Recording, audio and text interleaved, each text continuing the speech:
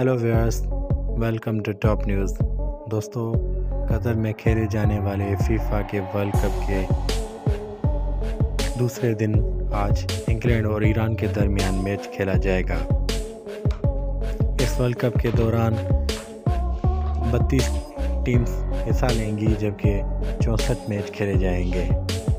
इस मैच से पहले आज एक वीडियो जो कि इंग्लिश फैंस की है, वो इस वक्त ट्विटर पर बहुत ही तेज़ी से वायरल हो गई है, जिसमें एक लड़की को फ्रेश करते दिखाया गया है, जिसको बहुत से वहाँ पर मौजूद लोग इन्जॉय कर रहे हैं।